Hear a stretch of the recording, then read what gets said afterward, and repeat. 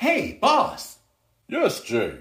What's with that weird face? Your wife wanted me to tell you that some of your videos lately have been a little risque. That means for adults. What's going on? Who are you talking to? What do you mean, silly? There's no one here but us. Your wife just wanted to know if you could make a skit that's a little more G rated. That means friendly for children. Dude, quit. You're freaking me out. Can you give me my hammer, please? Sure thing. Do you see Boss's hammer? Quit screwing around. It's right over your right shoulder. Over my right shoulder, you say? Hmm. Do you see Boss's hammer? Don't make me kill you. Boss, you know murder's illegal. Can you say 25 to life? Ay, chingada. Chingada. That's Spanish, isn't it?